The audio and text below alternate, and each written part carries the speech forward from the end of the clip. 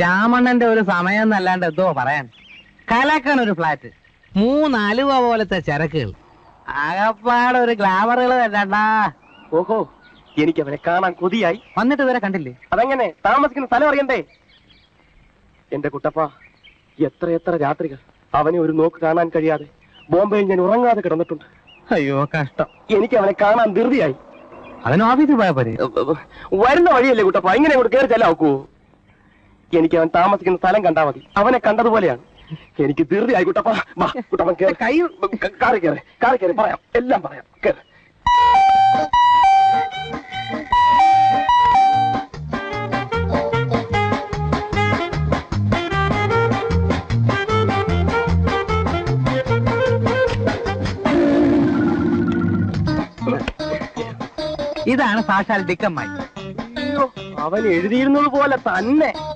നിങ്ങൾ ആരാ അനിൽകുമാർ. എന്ന് വെച്ചാ? നമ്മുടെ ശ്യാമണന്റെ ക്ലോസ് ഫ്രണ്ടാ. അങ്ങ് ബോംബെന്ന് വരിക. ഞാനിന്ന് വരുന്നു എന്ന് അവനെ അറിയിപ്പിച്ചിരുന്നില്ല. അറിഞ്ഞിരുന്നെങ്കിൽ അവ എയർപോർട്ടിൽ വന്ന് കെട്ടിപ്പിടിച്ച് കരഞ്ഞ ആ കൂടെ ചളമാക്കിയനെ അല്ല നേഹം കൊണ്ടാണേ. അല്ല അതെണ്ണം പറഞ്ഞ ശരിയാ. ഞാൻ വരുന്നു എന്ന് പറഞ്ഞപ്പോഴേ അവൻ എനിക്ക് എഴുതി. നീ വന്നാൽ എന്നോടൊപ്പം താമസിച്ചില്ലെങ്കിൽ ഞാൻ ആത്മഹത്യ ചെയ്ത് കളയുന്നൊക്കെ. സ്നേഹത്തിന്റെ ഒരു ഡെപ്തേ. നിങ്ങൾക്ക് താമസിക്കാൻ ഏത് മുറിയാന്ന് പറഞ്ഞിട്ടുണ്ടോ? ഏത് മുറിയാന്നാ പറഞ്ഞത്? അല്ല ഒന്നും പറഞ്ഞില്ലല്ലേ? അല്ല അതിനെ നിങ്ങളമ്മ കണ്ടില്ലല്ലോ. അതാ അതാ, ഞങ്ങൾ തമ്മിൽ കണ്ടിട്ടില്ലല്ലോ. അമ്മച്ചി ഏത് മുറി എന്നാലും മതി അവൻ ഏത് മുറിയാണെങ്കിലും ഒരു കുഴപ്പമില്ല. നിങ്ങൾ കല്യാണം കഴിച്ചാണോ? ഇല്ല നോക്കിക്കൊണ്ടിരിക്കുന്നു അടുത്തവൻ വന്നിരിക്കുന്നു. എന്താ എന്താ? ഏയ് ഒന്നുമില്ല. ഇത് ശ്യാമിന്റെ ഓഫീസ് ബെഡ്റൂം. ഇത് അദ്ദേഹത്തിന്റെ ഡേ ബെഡ്റൂം. ഇത് നൈറ്റ് ബെഡ്റൂം. അതാണ് അദ്ദേഹത്തിന്റെ പേഴ്സണൽ ബെഡ്റൂം. ആകെ ഒരു ലോഡ്ജ് മാതിരി ഉണ്ടല്ലോ. നേരത്തെ പിടിച്ച് ബെഡ്റൂം. അതിന്റെ ആവശ്യം കുറച്ചുകൂടെ കഴിയുമ്പോ തന്നെ തന്നെ നിങ്ങൾക്ക് മനസ്സിലാവും. എന്നാൽ ഞാനൊന്ന് കുളിച്ച് ഫ്രഷ് ആയിട്ടിരിക്കാം. അവൻ വരുമ്പോ ഒരു സർപ്രൈസ് ആയിക്കോട്ടെ. അവന്റെ പേഴ്സണൽ ബെഡ്റൂം തന്നെ ഉപയോഗിച്ചോളാം. ആ, നീ വയ്ക്കൂ കയ്യും വീശിയോ? പോക്കറ്റിൽ കുറച്ച് രൂപ വരുമ്പോൾ മുഴുവൻ എടുത്തു. രണ്ട് രൂപയോ? എന്താ പോരെ? പഴയ ഏച്ചിത്തരം എപ്പോഴും വിട്ടു മാറിയിട്ടില്ല അല്ലേ? ഇതും കൂടെ നിങ്ങൾ വെച്ചോ. നീ പോടേ പോണ വഴിക്കേ ഞാൻ ശ്യാമണനെ കണ്ട കാശ് വാങ്ങിച്ചോളാം. നിങ്ങൾ ഇവിടെ കൊണ്ടാക്കി വരും പറഞ്ഞോളാം. നീ വാടേ ദേ ഉപകാരം ചെയ്തില്ലേ ഉപദ്രവം ചെയ്യാതെ നീ നിന്റെ പണി നോക്കണേ പോടെ. അല്ല എനിക്കിത് വേണം. Sir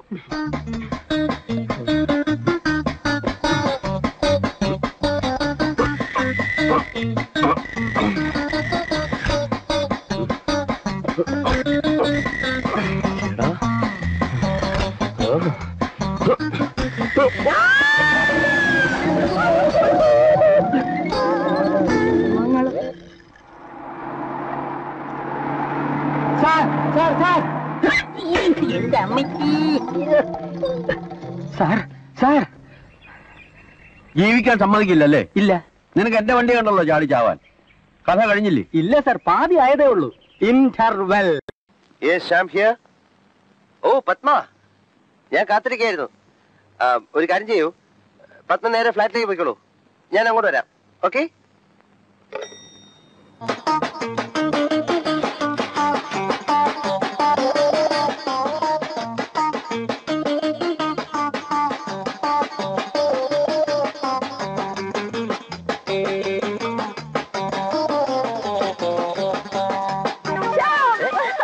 ആരാണ്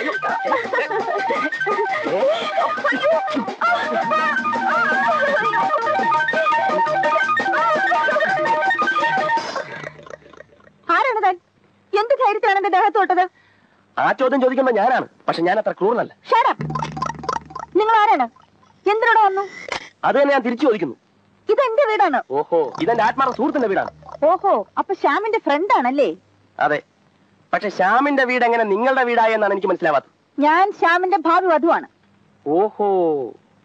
എന്ന് വെച്ചാൽ ശ്യാം കല്യാണം കഴിക്കാൻ പോകുന്ന പെണ്ണ് അല്ലേ? എന്നിട്ടാണോ ഒരു അന്യപുരുഷനായ എന്നെ നിങ്ങൾ കയറി കെട്ടിപ്പിടിച്ചത്? നിങ്ങൾക്ക് ലജ്ജയില്ലേ? ശ്യാം ആണെന്ന് കരുതിയിട്ടാണ് ഞാൻ അങ്ങനെ ചെയ്തത്. പക്ഷെ നിങ്ങളോ? നിങ്ങൾക്ക് അറിഞ്ഞുകൂടായിരുന്നോ? ഒരു പെൺകുട്ടി നിങ്ങൾ എങ്ങനെ കെട്ടിപ്പിടിച്ചു?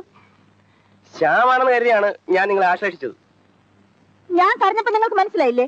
ഞാനൊരു പെണ്ണാണെന്ന്. ഞാൻ വിചാരിച്ചു ശ്യാം ചിരിച്ചതാണെന്ന് പോട്ടെ നമുക്ക് രണ്ടുപേർക്കും തെറ്റുപറ്റി.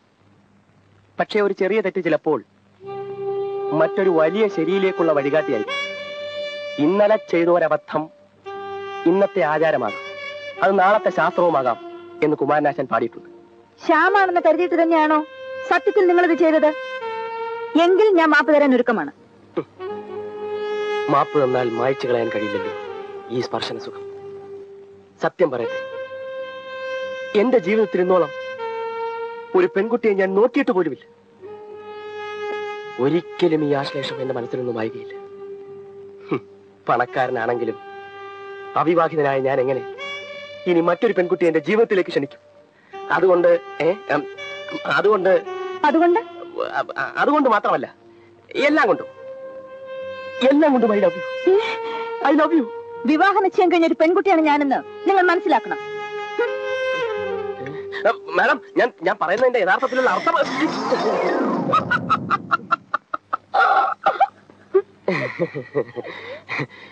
ഞാൻ ഞാൻ ആ കുട്ടിയോട് പറയുകയായിരുന്നു ശ്യാം എത്രമാത്രം അവളെ ലവ് ചെയ്യുന്നുണ്ടെന്ന്. ഐ ലവ് യു എന്ന് പറഞ്ഞാൽ ശ്യാം അവളെ ലവ് ചെയ്യുന്നു എന്നാണോ അർത്ഥം? അല്ല ഐ ലവ് യു എന്ന് ഇവളെ പറ്റി എന്നോട് ശ്യാം പറഞ്ഞതിനെ പറ്റി ഞാൻ അവളോ? മനസ്സിലായി വിഷമിക്കണ്ട. അമ്മച്ചി എന്തോ തെറ്റിദ്ധരിച്ചുകൊണ്ട്. ഞാൻ ആരുടെയും അമ്മച്ചിയല്ല അല്ല പ്രായം കൊണ്ട് ഒരിക്കലുമല്ല. പക്ഷെ സ്നേഹത്തിന്റെയും വ്യക്തിത്വത്തിന്റെയും മുമ്പിൽ ആരും അമ്മായി അമ്മച്ചി എന്ന് വിളിക്കും. ദാ ഇനി ആവർത്തിക്കില്ല? ആ അമ്മായി നേര് പറ. അമ്മായിക്ക് എത്ര വയസ്സായി? മുപ്പതോ മുപ്പത്തിരണ്ടോ? അതിൽ കൂടുതലൊക്കെ ഉണ്ട്. ഏ? ഏതായാലും മുപ്പത്തിമൂന്നിൽ കൂടില്ല കൂടാൻ ഞാൻ സമ്മതിക്കൂല. അമ്മായി. അളിയാ പൊന്നളിയാ നീ എവിടെ ആയിരുന്നു അളിയാ? എന്റെ പൊന്നളിയാ. കയറുത്തെ കയറുക്കാൻ നിനക്ക് എന്ത് പറ്റിയോ ഇവൻ ഇങ്ങനെയാണ് സ്നേഹം പ്രകടിപ്പിക്കുന്നത്. എനിക്ക് നിന്നോട് സ്നേഹോ എന്തിനെ? അത് കളാ. എനിക്ക് നിന്നെ അറിഞ്ഞൂടെ. എന്തിനാണ് എന്നോടുള്ള സ്നേഹം ഒളിച്ചു വെക്കുന്നത്? നിനക്ക് അങ്ങനെ വല്ല തെറ്റിദ്ധാരണ ഉണ്ടെങ്കിൽ അതിപ്പോ തന്നെ മാറ്റിയേക്കാം. എനിക്ക് നിന്നോട് അശേഷം സ്നേഹമില്ലെന്ന് മാത്രമല്ല നിന്നോട് അർപ്പം വെറുപ്പാണ്. ഇറങ്ങട്ടെ വെളിയിൽ. നീ- എങ്ങനെയൊക്കെ എന്നെ തള്ളി പറഞ്ഞാലും ശരി നിമിഷം പ്രതി നിന്നോടുള്ള സ്നേഹം എനിക്ക് വർദ്ധിച്ചു വരിക. എനിക്കും വർദ്ധിച്ചു വരുന്നുണ്ട്. സ്നേഹമല്ല കൈയുടെ തരിപ്പ.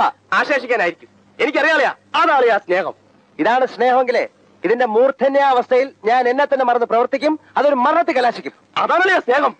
ഇതെന്താ ഏ ഇതെന്താ ഏത്? ലിപ്സ്റ്റിക്കോ എന്താണ് ചോദിച്ചായിട്ടില്ലേ അത് രാവിലെ ഷേവ് ചെയ്തപ്പോ മുറിഞ്ഞ ചോര ചുവന്ന ചോര.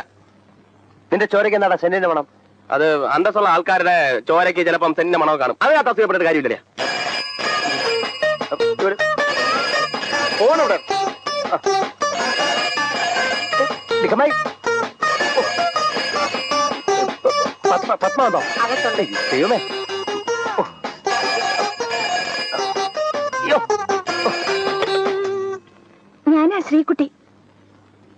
എന്താ ഹോസ്റ്റലിൽ വരാന്ന് പറഞ്ഞിട്ട് വരാത്തെ? അത് പിന്നെ ഞാൻ പിന്നെ ഒരു ഒരു വലിയ ഫോട്ടോ എടുപ്പ് പരിപാടിയായിരുന്നു. അതിന്റെ പ്രിന്റും പബ്ലിസിറ്റി ആയിട്ടൊക്കെ ആകെ ബിസി ആയിപ്പോ മോളെ. അതാ ഞാൻ വരാ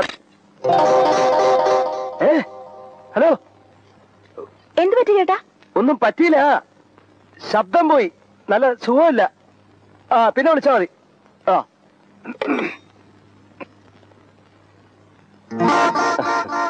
ആരാ വിളിച്ചത്? ഡാരിയ വെസ്റ്റ് ജർമ്മനിയിൽ ഒരു ഗോൾഡൻ പോമറേനും പട്ടിയെ കൊണ്ടുതരുന്നു. അതിനെല്ലാം സുഖമില്ല അത്രേ. കഷ്ടമായിപ്പോയി. What happened what happen Shyam ശബ്ദത്തിന് എന്ത് പറ്റി?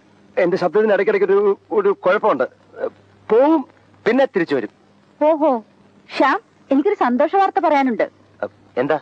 ഞങ്ങളുടെ ഫ്ലൈറ്റ് ടൈം മുഴുവൻ മാറ്റാൻ പോവുകയാണ്. അതുകൊണ്ട് ഇപ്പൊ ലെവൻ തേർട്ടിക്ക് എത്തുന്ന ട്രിവാൻഡ്രം ഫ്ലൈറ്റ് ഇനി മുതൽ സെവൻ തേർട്ടിക്ക് തന്നെ ലാൻഡ് ചെയ്യും. ദാറ്റ് മീൻസ് നമുക്കൊരു ദിവസം മൂന്ന് മണിക്കൂർ കൂടുതൽ കിട്ടുന്നു. അല്ലേ? അപ്പോ ബോംബെ ഫ്ലൈറ്റ് പഴയ സമയത്ത് തന്നെയാണോ? ഇല്ല അത് മാറും. രക്ഷപ്പെട്ടു. അതെന്താ അങ്ങനെ പറഞ്ഞത്? എങ്ങനെ? രക്ഷപ്പെട്ടു എന്ന് പറഞ്ഞത്? ഞാൻ പറഞ്ഞില്ല. പറഞ്ഞു പറഞ്ഞു. ഹേ ഞാൻ പറഞ്ഞില്ല. നീ പറഞ്ഞതാ? ഞാൻ കേട്ടതല്ലേ? സത്യം പറയൂ. ശ്യാം ഏത് പെൺകുട്ടിയോടാണ് സംസാരിച്ചത്? നീ എല്ലാ ഒരു പെണ്ണിന്റെ മുഖത്ത്. ഞാൻ ഇന്നേരം നോക്കിയിട്ടില്ല ഞാനൊരു പെണ്ണിനോട് സംസാരിച്ചത്.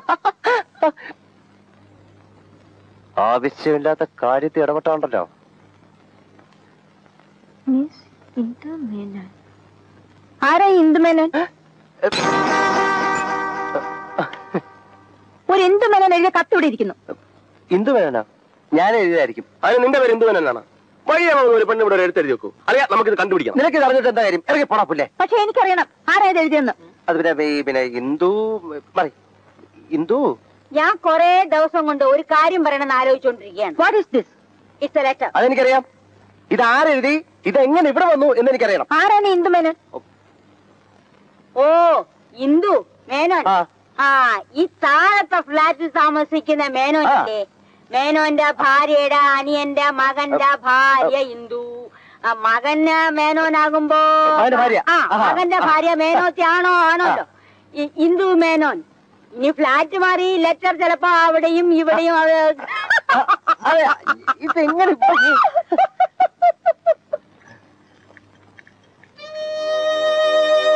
എന്നെ മറ്റേതെങ്കിലും പെൺകുട്ടികളായി ബന്ധപ്പെടുത്തി പത്മ ചിന്തിക്കുന്ന എനിക്ക് വളരെ സങ്കടമുണ്ട്. സോറി ശ്യാം.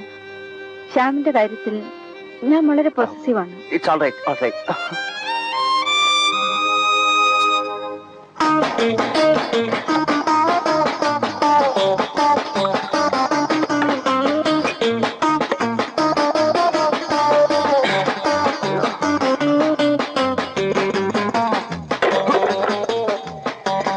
ഉദ്ദേശം എന്താണ് നീ ഒരു മുസ്ലിം ആയിരുന്നെങ്കിൽ അവരുടെ നിയമം അനുസരിച്ച് മൂന്നോ നാലോ കല്യാണം കഴിക്കാമായിരുന്നു. എനിക്കൊരു പിടിയും കിട്ടുന്നില്ല. ഈയിടെ എന്ന് പോലെ ഈ ഹിന്ദുക്കൾക്ക് മൂന്നും നാലും കല്യാണം കഴിക്കാനുള്ള നിയമം ഉണ്ടായത്. ഭാര്യമാരാണെങ്കിലേ പ്രശ്നമുള്ളൂ? ഭാവി വധു എന്നൊരു ഏർപ്പാടിനെ പറ്റി കേട്ടിട്ടുണ്ടോ?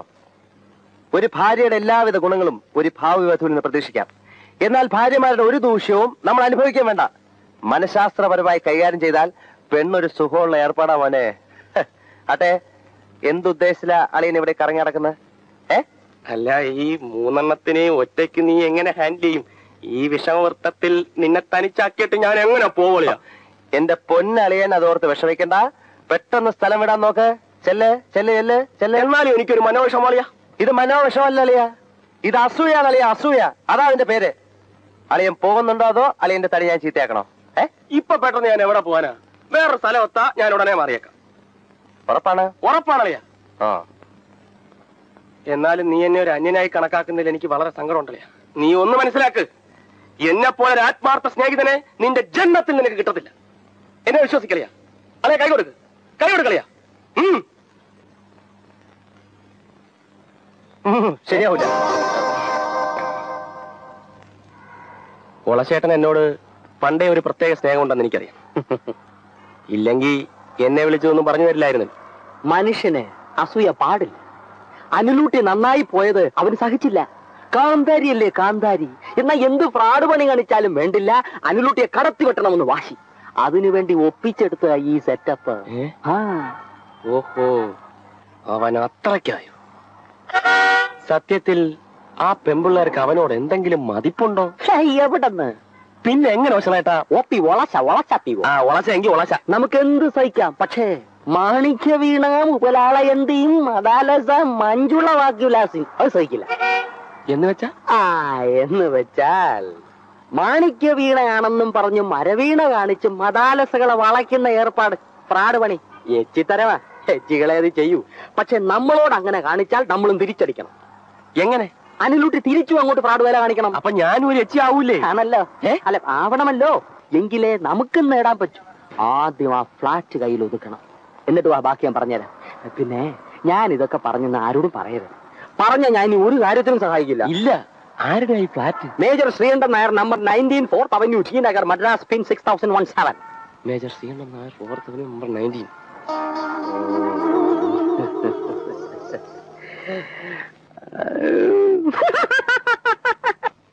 കാശ് എനിക്കൊരു പ്രശ്നമല്ല.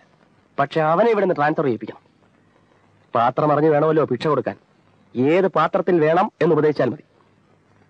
ആത്മപ്രശംസ എനിക്ക് ഇഷ്ടമല്ല. ഇവിടുത്തെ ചീഫ് എഡിറ്ററിനേക്കാളും മാനേജ്മെന്റ് തലത്തിൽ എനിക്ക് പിടിപാടുണ്ട് ആൾ സ്വാധീനമുണ്ട് ബാക്കിയുള്ള കാര്യങ്ങൾ നീയാ തീരുമാനിക്കേണ്ടത്. മുഖസ്തുതിയാണെന്ന് വിചാരിക്കരുത്. ചേട്ടന്റെ മുഖം കണ്ടാൽ അറിയാം. ചേട്ടൻ ഇതിന് പറ്റിയ ആളാണ്. കാശൊരു പ്രശ്നമല്ല സംഭവം നടന്നാൽ മതി. കാശ് പ്രശ്നമാണ് സംഭവം നടക്കും. ഏറ്റല്ലോ?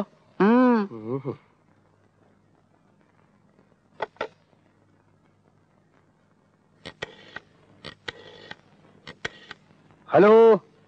ശ്യാമല്ലേ? ആ ശത്രു സജീവമായി മുമ്പോട്ട് നീങ്ങിക്കൊണ്ടിരിക്കുകയാണ് ഏത് നിമിഷത്തിലും എന്തും സംഭവിക്കും. മനസ്സിലായി.